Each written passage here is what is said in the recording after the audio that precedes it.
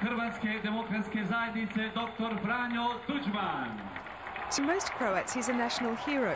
President Franjo Tuđman is the man who brought Croatia independence from Yugoslavia in 1991. Strong in the face of Serb rebellion, he's still pushing a hardline approach on reintegrating eastern Slavonia.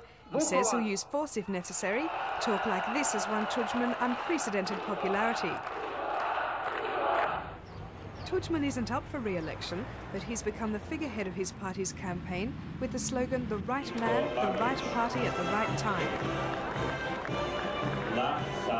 Tudjman is a master campaigner. After his forces captured Western Slavonia in May, he staged a large parade to celebrate. In August, he congratulated his troops for taking the Krajina region in just a few days. In contrast, the opposition party is struggling to be noticed.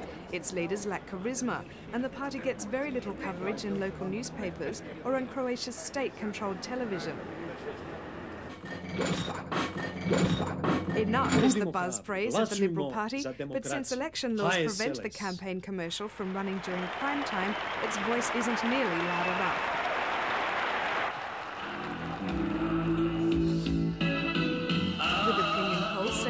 Tudjman's Democratic Union will sweep the election, it's unlikely the public will turn on the man who has delivered so much.